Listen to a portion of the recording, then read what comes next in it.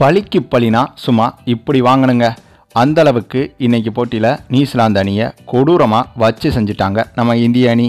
ஆமாங்க நேற்றைய முன்தினம் நடைபெற்ற முதல் டி டுவெண்ட்டியில் இந்திய அணிக்கு அதிர்ச்சிகரமான தோல்வியை கொடுத்தாங்க நியூசிலாந்து அணி. மேலும் அந்த போட்டியில் நம்ம வாஷிங்டன் சுந்தரோ வெற்றிக்கு பக்கத்திலேயே இந்திய அணியை கொண்டு போயிட்டாப்ல. ஆனால் அதுவும் ஒரே ஆளாக நின்று பேட்டிங்கில் ஒன் மேன் ஷோ காட்டினாப்ல நம்ம வாஷிங்டன் சுந்தர். ஆனாலும் கூட வாஷிங்டன் சுந்தருக்கு யாருமே பேட்டிங்கில் சப்போர்ட் பண்ணாததால் ஜஸ்ட் மிஸ்ஸில் தான் தோற்று போனாங்க இந்திய அணி. ஆக அந்த தோல்விக்கு பழிக்கு பழி வாங்கும் விதமாக இன்று நடைபெற்ற இரண்டாவது டி டுவெண்ட்டி மேட்ச்சில் டாஸை ஜெயிச்ச நியூசிலாந்து அணி முதல்ல பேட்டிங்கை தேர்வு செஞ்சாங்க.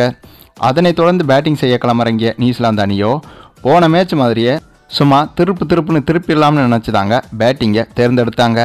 ஆனால் அதுக்கு நம்ம இந்திய பவுலர்களோ பெரிய முட்டுக்கட்டையாகவே இருந்தாங்க. ஏன்னா ஹார்திக் பாண்டியா வாஷிங்டன் சுந்தர் யுஸ்வேந்திர சாகல் தீபக் கூடா குல்தீப் யாதவ் ஹர்தீப் சிங்னு இப்படி மொத்த பவுலர்களும் சிறப்பாக செயல்பட்டு ஆள் ஆளுக்கு விக்கெட்டுகளை அல்ல இதனால் நினச்ச ஸ்கோரை எடுக்க முடியாமல் இருபது ஓவர்கள் முடிவில் வெறும் தொண்ணூத்தொம்பது ரன்கள் மட்டுமே எடுத்திருந்தாங்க நியூசிலாந்து அணி. பின்னர் இதனை சேசிங் செய்ய களமிறங்கிய இந்திய அணியோ அவங்களும் கூட கொஞ்சம் திணறதாங்க செஞ்சாங்க. அப்போ தான் தெரிஞ்சது இந்த பிச்சோட தன்மை பேட்டிங்க்கு ஏதுவா இல்லைன்னு. அதனால தான் நியூசிலாந்து அணி கூட தொண்ணூற்றி ஒம்பது ரனில் ஆல் அவுட் ஆகியிருக்காங்க ஏன்னா இந்திய அணி பேட்டிங்கின் போது சப்மன் கில்லு இசான் கிசானு ராகுல் திரிபாத்தின்னு ஆரம்பத்தில் அடுத்தடுத்து இவங்க விக்கெட்டை இழந்து திணறினாலும் இறுதியாக ஒரு வழியாக அப்படி இப்படின்னு தேத்தி இந்திய அணி வின் பண்ணிட்டாங்க. ஏது? ஒருவேளை அந்த மேட்ச்சில் நியூசிலாந்து அணி ஒரு நூற்றி இருபது நூற்றி முப்பது ரன் அடிச்சிருந்தா கூட இந்திய அணிக்கு இன்றைக்கும் சங்குதாங்க.